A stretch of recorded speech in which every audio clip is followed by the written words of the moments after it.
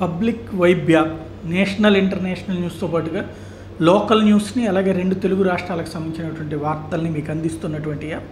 దాన్ని సద్వినియోగం చేసుకోవచ్చు. అర్ధరాత్రి పూట్ల ఓ పిటిషన్. అది కూడా ప్రజావేదిక అనేటువంటి ప్రభుత్వ నిర్మాణాన్ని ప్రభుత్వమే కోల్చడం.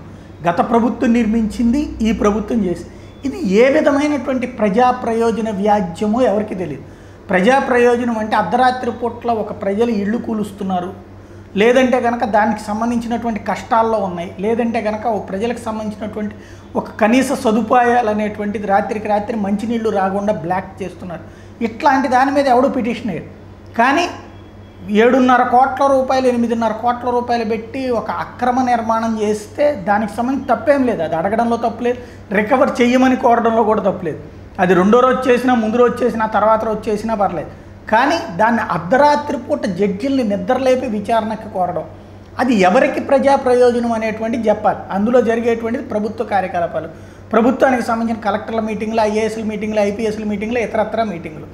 ఈ మీటింగులు జరిగేటువంటి సభా వేదిక పోతే ఇంకో చోట కూర్చుంటారు. అంతేగాని ప్రజలకేం నష్టం జరిగేటువంటిది కాదు లేదా రెగ్యులర్గా మీటింగులు జరిగే స్పాట్ కూడా కాదు. లేదా ప్రజలు రోజు వెళ్ళి అక్కడ కూర్చుని ముఖ్యమంత్రిని కలిసేటువంటిది కాదు.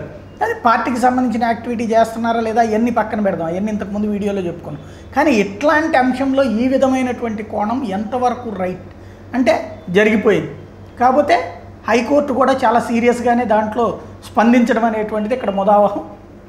ఆ నిర్మాణాన్ని కూల్చడాన్ని తప్పుపట్టలేదు ఈవెన్ పిటిషనరే అక్రమ నిర్మాణం అని చెప్పి అఫిడవిట్లో చెప్తూ డబ్బులకు సంబంధించి రికవర్ చేయడం. అంటే ఇందులో ఎవరినో ఫేవర్ చేయబోయి ఎవరినో ఇరికించినట్టుంది. వాస్తవంగా తెలుగుదేశానికి ఫేవర్ చేయడం కోసం ఈ పిటిషన్ వేసినట్టుంది. అర్ధరాత్రి పూట ప్రజావేదిక నిర్మాణ ధ్వంసాన్ని ఆపడం. తద్వారా అది నిర్మాణం కంటిన్యూగా ఉండనిచ్చి అది ఆపామనేటువంటి ఒక ఫీల్ క్రియేట్ చేయడం. రెండవది ఏంటంటే అంటే దానికి సంబంధించినటువంటిది పగలగొడితే పగల కొట్టినోళ్ళ దగ్గర రికవరీ చేయాలన్నటువంటి కోణాల్లో ప్రయత్నించి చివరికి అది కాస్త కట్టినోళ్ళ దగ్గర రికవరీ స్టేజ్కి తీసుకొచ్చి పెట్టారు. ఇప్పుడు తద్వారా ఇప్పుడు ఆ నిర్మాణాన్ని అక్రమ నిర్మాణం అని తెలిసి అనుమతులు లేని నిర్మాణం చేసి దానికి ప్రభుత్వపు సొమ్ము ఖర్చు పెట్టేందుకు ఖచ్చితంగా రికవర్ చేయాలి. దీని మీద రెండు వారాల తర్వాత విచారణ చేస్తానంటున్నటువంటి హైకోర్టు అది చేస్తేనే బాగుంటుంది.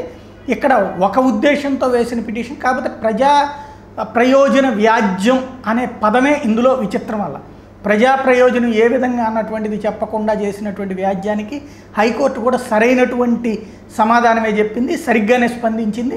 అక్రమ నిర్మాణం అని ఒకప్పుడు హైకోర్టు కూల్చమన్నటువంటి నిర్మాణాలలో అదనంగా మరొక అక్రమ నిర్మాణం జరిగితే దాన్ని కూల్చడానికి కోర్టు కూడా అడ్డు పడబోమని చెప్పడం అనేటువంటిది కీలకమైనటువంటి అంశం.